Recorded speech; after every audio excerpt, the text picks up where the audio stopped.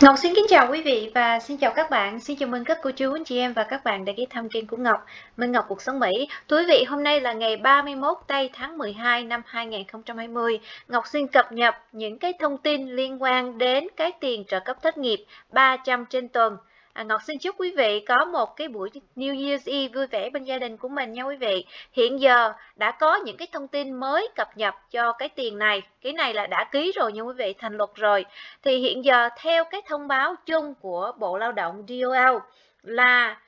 những ai mà lãnh tiền trợ cấp thất nghiệp đã đang đủ, cái điều kiện trợ cấp thất nghiệp của tiểu bang thì sẽ được cộng thêm 11 tuần. Mỗi tuần như vậy thì sẽ được 300 trên tuần và một số trường hợp sẽ được cộng thêm 100 nữa là thành 400 trên tuần đối vị. Thì bây giờ người ta nói là 11 tuần này sẽ được tính từ ngày 27 tây tháng 12 đến ngày 14 tây tháng 3 năm 2021. Như vậy là cái chương trình cũ của cái gói cứu trợ đợt 1 là kết thúc vào ngày 26 thì cái gói cứu trợ trợ đợt 2 này nó sẽ tiếp tục như vậy kể từ ngày 27 đến ngày 14 tây tháng 3.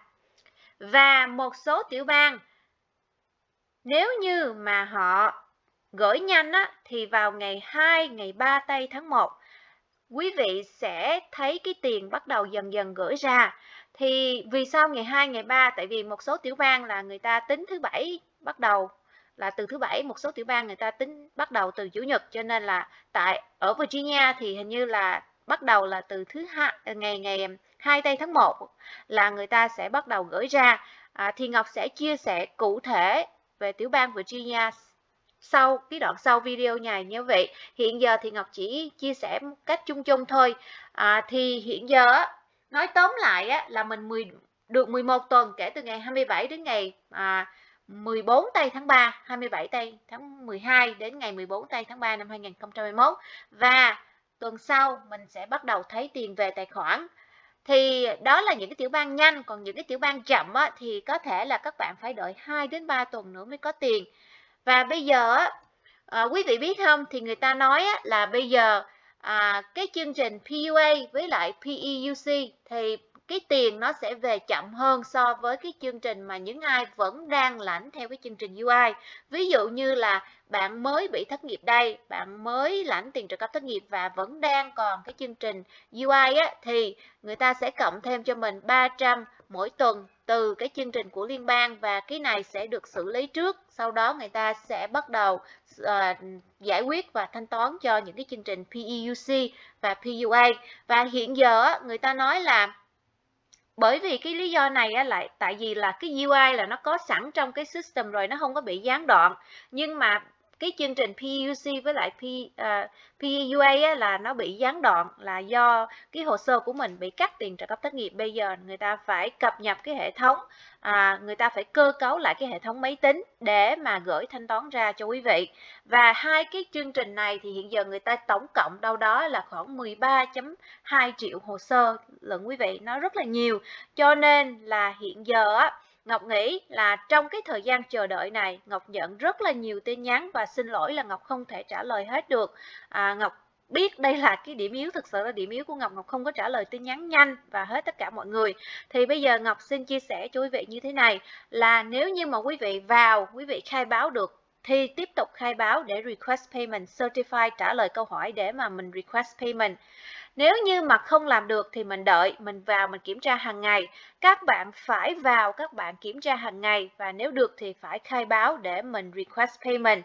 Bằng cách làm này thì bên sở thất nghiệp họ mới biết là mình vẫn muốn xin tiền trợ cấp thất nghiệp. Cái hồ sơ của mình vẫn đủ à, điều kiện để xin tiền trợ cấp thất nghiệp nhớ quý vị. Nếu như quý vị không khai báo thì người ta sẽ không cho tiền mình đâu tại vì người ta sẽ giải quyết những cái hồ sơ đã làm khai báo đã gửi cho người ta, yêu cầu là người ta phải thanh toán tiền cho mình. Như vậy thì đó là một cái lý à, một một cái thông tin Ngọc chia sẻ chung chung cho hầu hết các tiểu bang. Riêng đối với tiểu bang Virginia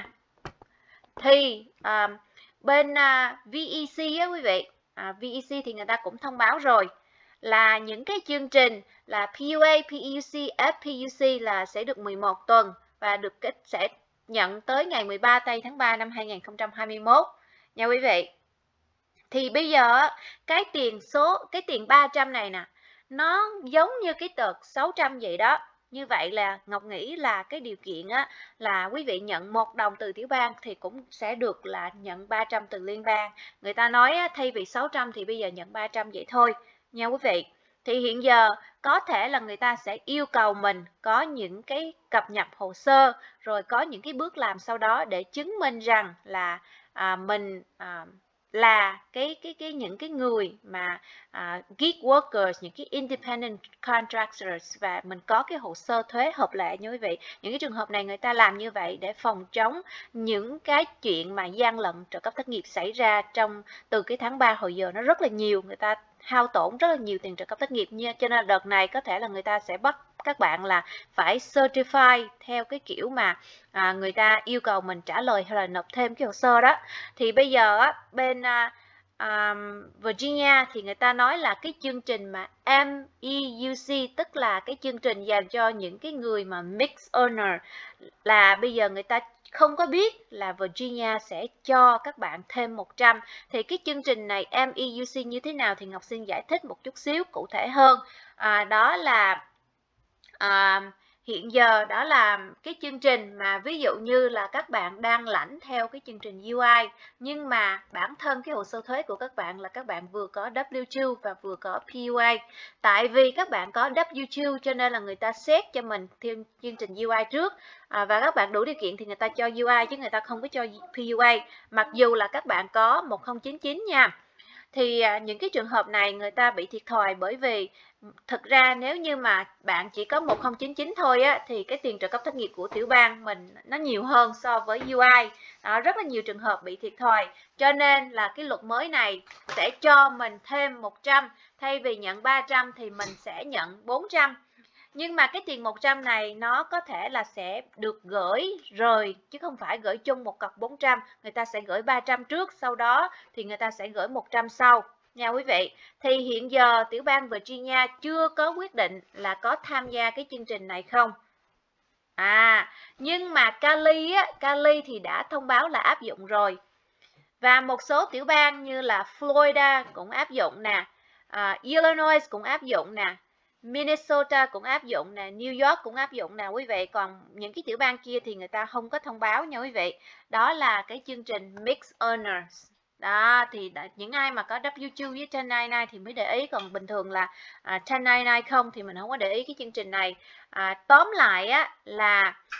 sớm nhất là ngày 2 tây tháng 1 mình sẽ nhận cái tiền 300 trên tuần này còn tiểu bang nào chậm là mình phải đợi 2 3 tuần nữa nha quý vị. À, thì bây giờ nếu như mình đang đợi cái tiền này để trả tiền nhà thì mình cũng lo hẹn hò với lại à, chủ nhà đi để người ta biết chừng là mình có thể trả trễ tiền nhà tháng này chẳng hạn nha quý vị. À, thì mình cũng liệu cơm gắp mắm chứ à, hiện giờ thì cũng à, à, cái tiền trợ cấp thất nghiệp gián đoạn thì Ngọc nghĩ là cũng nhiều gia đình rơi vào cái tình trạng là à, không có tiền để trả tiền bill tiền nhà này nọ đó. À, thì à, bây giờ Ngọc sẽ kết thúc cái video này ở đây. Chúc quý vị có một cái đêm New Year, New Year Eve vui vẻ bên gia đình của mình quý vị nha. À, đừng quên đăng ký kênh, subscribe, like và share để ủng hộ kênh của Ngọc. Hẹn gặp lại quý vị trong những cái video tiếp theo. Bye bye now.